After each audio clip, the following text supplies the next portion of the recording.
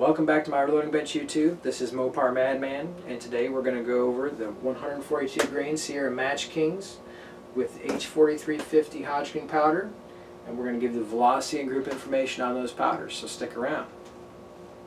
So getting right into this information, if you guys are familiar with the format of my videos, I'm going to tell you guys what the velocity that we got, and uh, then we'll get to the groups. And so starting right off, we started at 39.5 grains and we went up to 41.5. And all this data I pulled off of Hodgdon's website.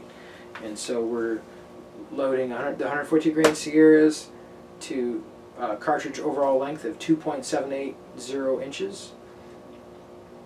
And at 39.5 grains, we were at 2547 feet per second with a standard deviation of 15. At 40, we were at 2556 feet per second with a standard deviation of 9. At 40.5 grains, we were at 2,593 feet per second with a standard deviation of 10.6.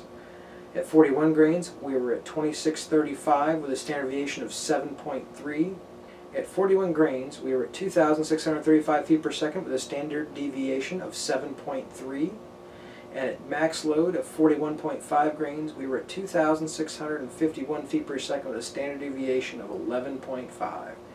So overall, standard deviations were very good with this combination, guys. So the worst standard deviation was 15, so we were right around 10, so barely double digits on most.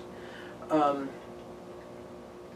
the overall, I have to say, you know, I, I, made this for you Sierra guys out there. I load a lot of Hornady, so if you've been watching my videos, you've seen those. But Sierra is very popular, and when you get to the groups, you guys will find out why.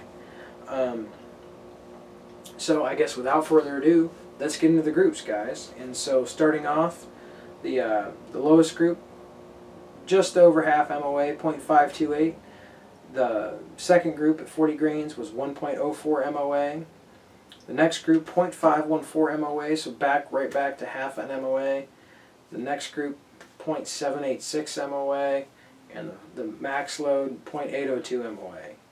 Now, if you guys are looking at these groups, you guys will easily tell that some of these are very, very close together, and I have almost one flyer. Now, I'm going to take full responsibility for everything on there. I'm not going to tell you it's going to everything's going to be sunshine and roses, but you know my shooting's not perfect, so yeah, it's very likely I made those groups look worse than they were supposed to. And so um, I have to say, you know, all these are 150 uh, yards, half MOA groups on a lot of them. You know, worst just about three quarters MOA.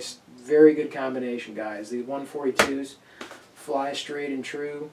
Good velocity, 20, you know, 2650, like I said, with the H4350. So I really got nothing to complain about.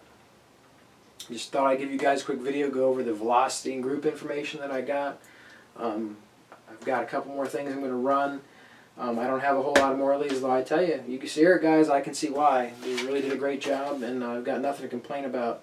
Um, the ballistic coefficient on these isn't quite as good as some of the other ones, and so if you can believe what's written on the box, um, these aren't quite 0.6, and so the Hornady's are a little higher, and I guess that's one of the reasons why I've steered myself that way, but uh, the groups don't lie, guys. Uh, great groups, reasonable velocity. Um, it's certainly a contender if you guys want to try it.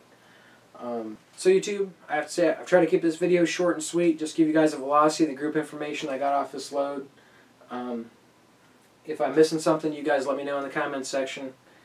Um, thank you guys for watching. Again, I really want you guys' feedback. If you guys have something you wish you'd seen? You want to see more shooting? Do you just want the information? What information you guys looking for that you can't find on YouTube that I can give to you guys? Um, let me know. I appreciate your feedback. I try to respond to anything that's out there. Um, thank you guys for watching. Please like the video, subscribe, um, hit one of my other videos that I've got posted on the screen. Um, I, you know, I'm out here to give you guys information, information that I couldn't find when I was out looking for it. So. Um, Getting down the way. More videos are to come. Stick around, guys. Like, subscribe, and you're going to see some more stuff. So, have a great day, YouTube.